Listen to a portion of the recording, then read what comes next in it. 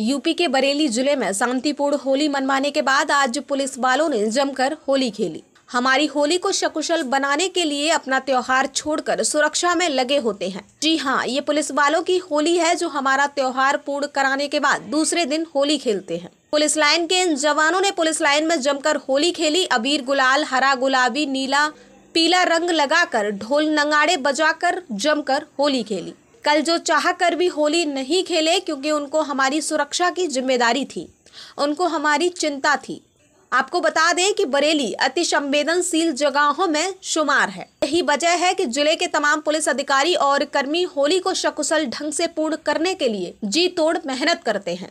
कल जब हमारी होली सकुशल पूर्ण करा कर आज वो सभी होली खेल रहे हैं तमाम अधिकारी भी शामिल हुए हैं और एक दूसरे को होली की शुभकामनाएँ देकर गले मिलकर, जमकर रंग लगाया और होली खेली है। बिल्कुल जनता ने बहुत सहयोग किया और हमारे पुलिस ऑफिसर सब अपनी ड्यूटी पर लगे थे, मजिस्ट्रेट सब लगे थे।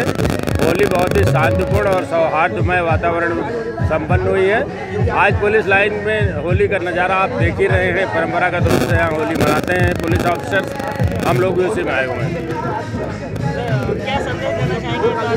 बिल्कुल स्पष्ट संदेश है कि होली भ्रातृभाव का पर्व है और उत्साह और उल्लास के साथ लोग मनाना चाहिए। गले शिकवे जो भी हो सब बाहर कर देना चाहिए। किसी प्रकार के मन में नहीं रखना चाहिए दुर्भावना किसी के प्रति। थैंक यू देखते रहिए डीबी भारती समाचार। नज़र हर खबर।